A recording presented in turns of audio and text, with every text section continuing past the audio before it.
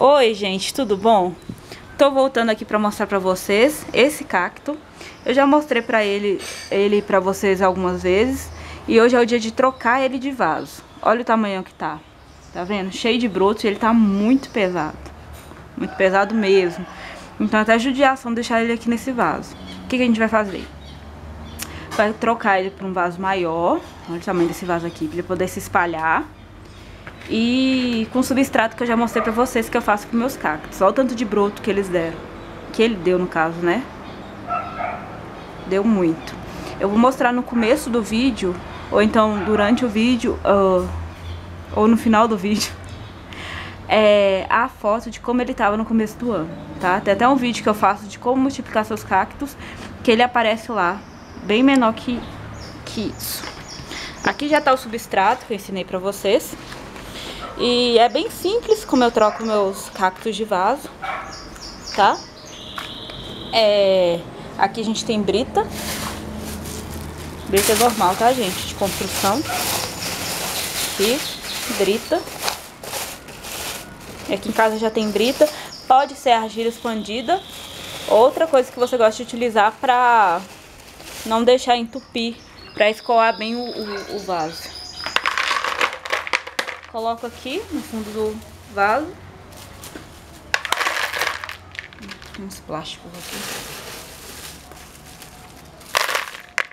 Vou colocar tudo.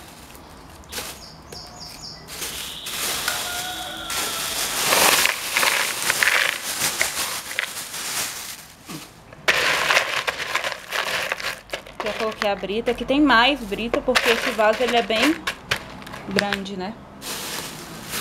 Aí que eu faço? Coloco a brita, uma camada de terra.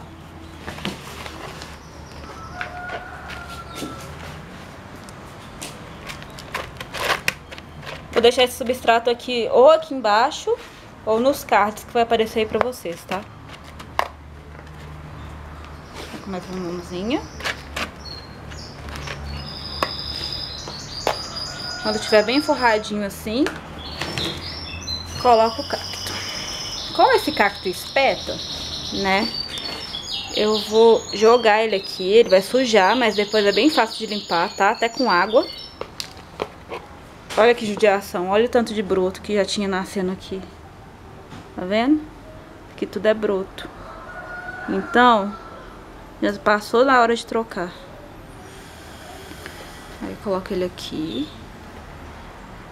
Eu não vou tirar um pouco da terra da raiz, não, porque a, a raiz do cacto é bem fininha, principalmente desse daqui. Eu tenho medo de quebrar a raiz, tá? Então eu já deixo assim, na torceirinha. E coloco a terra pra completar.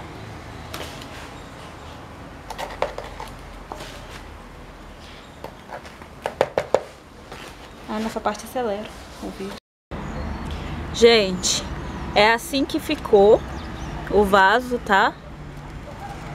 A gente espera, né? Eu tô esperando que cresça mais. Coloquei num vaso bem maior agora, pra não ficar saturado que, tem, que nem tava no outro. E pra que ele possa espalhar também e crescer com mais broto ainda, tá? Então fica assim. O substrato, como eu já falei, tá no canal. É só acessar.